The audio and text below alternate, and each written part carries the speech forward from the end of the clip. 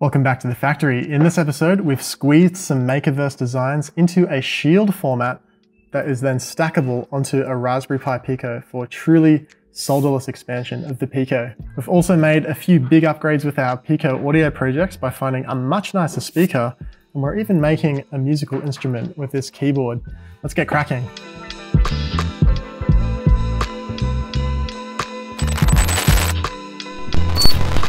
We've been talking about Makerverse audio projects a fair bit on the Factory in the past few weeks, and that's just because they're so interesting and there's so many different components to them. If you don't recall, we've been working on a digital to analog converter that converts digital signals from a Raspberry Pi Pico into an analog signal that can then be passed into an amplifier and then off to a speaker. It's a pretty small, pretty low powered 4 ohm speaker. It's got a little port to lower the frequency response. And that's been fine for validating this design but we thought it might be nicer to find something a little more suited to higher quality audio. After a bit of digging, we came across this little woofer. This is a 8 ohm 5 watt woofer, and it performs so much better than this little speaker. Just take a look at the size difference. That's already going to help the bass response. It looks like there are two speakers here, but there's actually only one driver. And this fellow on the right here is a passive radiator. You see passive radiators everywhere in the wild on small desktop speakers like those for computers. They do the same job as a port on a ported speaker, but their advantage is that to get to the lower frequencies, this port has to become larger. And obviously that's really intractable on a really tiny speaker. Referring to the manufacturer's spec, this smaller speaker rolls off at about 1000 Hertz, whereas this larger one rolls off at about 200. So that's gonna give a much more pleasant listening experience. And here's what they sound like.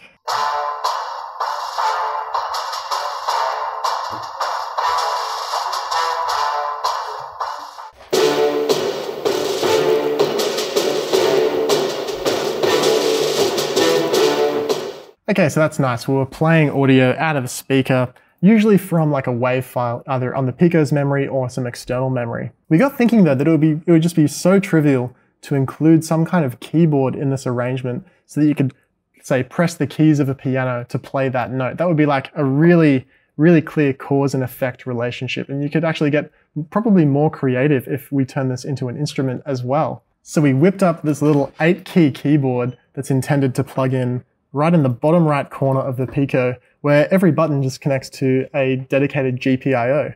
And you can see there are some labels for the C major scale. That's like all the white keys on a piano. Now you might be thinking that it's a little bit inefficient having a single pin for every one of these buttons. You know, there matrix keypads exist where you can have, I don't know, like 12 buttons being controlled by only seven pins. We went with this one-to-one -one relationship because first of all, it allows for n key rollover. So we can, we can read the state individually of all of these buttons, which means that you could press two buttons at the same time or as many buttons as you like to combine those tones. To get n key rollover in a matrix, you would need as many diodes in the design as there are rows and columns. And you know, for eight keys, that would be what? Two by four, which is six pins already, and then you need a bunch of diodes to assemble. So we figured it would be easier to just do eight pins for eight keys. So that was a really quick design to whip up. And there's just a little bit of work to do in creating some kind of driver so that you can play a tone from each of these notes. We're thinking something along the lines of like a sine lookup table or a wave table. If you have a lookup table of many sine values, you know, from zero to one, then you can just scan through that table really quickly at some frequency, the appropriate fre frequency for each of these keys to pick out the value of that wave. That also means that if you want to play two notes at the same time, then you just have two instances scanning through that wave table at different speeds and summing their results together. That's probably the shape that it's going to take, but we'll, we'll look into it a bit more later. Moving on to some other new products, we designed this expansion board for Raspberry Pi Pico about a year and a half ago, and this was to enable the PiicoDev ecosystem. The idea was that you would plug the Pico into the expansion board, and you'd be able to connect your PiicoDev accessories through the PiicoDev connector at the bottom. And just to be helpful, we also included some breaking out for each pin on the Raspberry Pi Pico. It turns out this has been pretty popular among people who aren't even using PiicoDev, but just want a convenient Raspberry Pi Pico breakout. So we figured we'd make something a little more helpful and make the Makerverse breakout for Raspberry Pi Pico. And I mean, this is a simple board. Obviously, the, the Raspberry Pi Pico just plugs in into the center, and then you've got every pin broken out. In this case, we have every GPIO broken out, and then a power ground pair. So you could theoretically plug a servo straight into these headers, but you've got power and ground distributed at every point, so you can just pick it up wherever you need. Now this marks a bit of a foray into making shields for the Raspberry Pi Pico, or whatever you want to call it, some kind of solderless pluggable board that includes some functionality. We've talked about a power timer on the factory a little while ago. This is a kind of Raspberry Pi Pico shield for that power timer. The point is that you could take your Raspberry Pi Pico with female headers or stackable headers, however you like, plug in the power timer, and straight away you've got a battery connection that can then power cycle the Raspberry Pi Pico periodically. And so we've been toying with this idea of a Raspberry Pi Pico Shield ecosystem. And this is just the first one that we decided to make because we get to reuse one of our old designs. So there could be a couple of options moving forward. You could have the Raspberry Pi Pico with Shield stacking on top. You can also plug into some kind of prototyping breakout to create a more prototyped experience. So of course, this is just our first run. This is of course just a prototype. Unsure whether we'll stick with male headers facing up or maybe even female headers facing up, whether you prefer to use male to male DuPont wires, for example.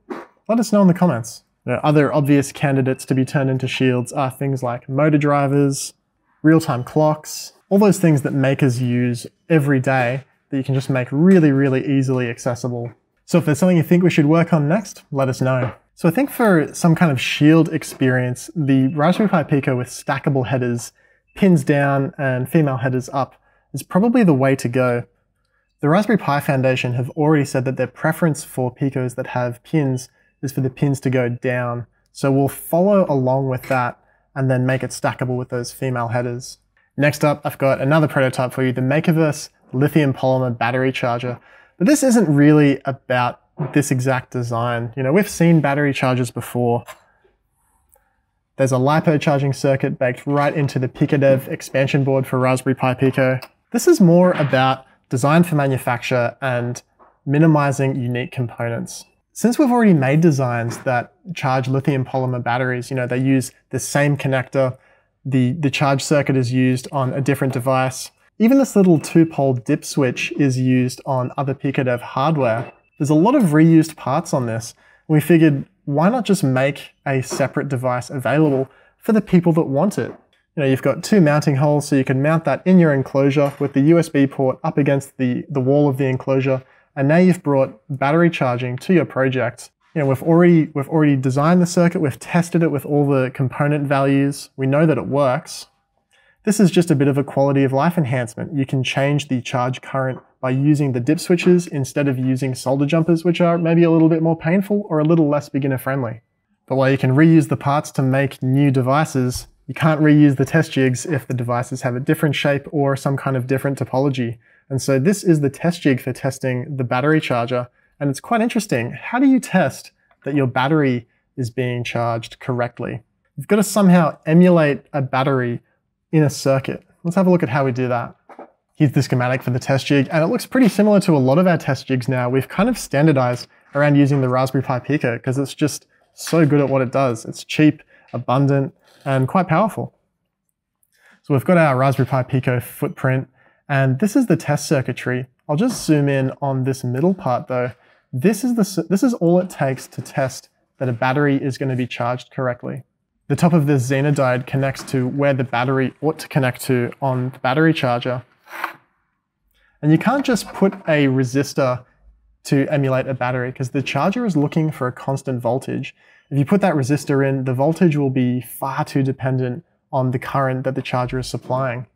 And so we throw in this little 3.6 volt voltage drop so that when the battery charger is passing, say 50 milliamps through this circuit, it's seeing that 3.6 volt voltage drop and then a little bit extra in our shunt resistor then we can just measure off the voltage of that shunt resistor and make sure that it's appropriate for whatever charging current this defaults to. In this case, it's 50 milliamps. That works out to be about a quarter of a volt, which is more than plenty for the resolution of the Pico's ADC. Otherwise, the other passive components in the test circuit are just there to help check for the presence of the current setting resistors. We don't want to be holding this against the test jig and flicking the switches to make sure that all four currents can be set by the user. Instead, the current setting resistors create a voltage divider with these resistors on board, and we just look for the right voltage. If the voltage is incorrect, then it means one of these resistors is missing or not the correct value. And so there you have it. Thanks for joining us on this episode of The Factory. I believe this is episode number 50, so that's quite a milestone. We're very pleased about that. If you'd like to see anything a little bit closer, or if you just have some questions, let us know in the comments below. Until next time, catch you later.